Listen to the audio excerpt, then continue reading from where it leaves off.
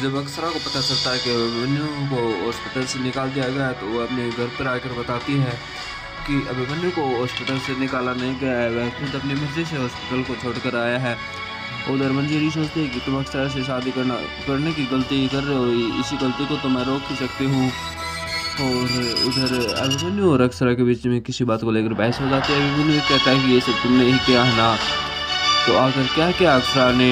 जिसे बिल्लू इतना नाराज़ हो गया और आखिर क्या करने वाले मंजरी जिससे बिल्लू और अक्सरा की शादी रुक जाएगी?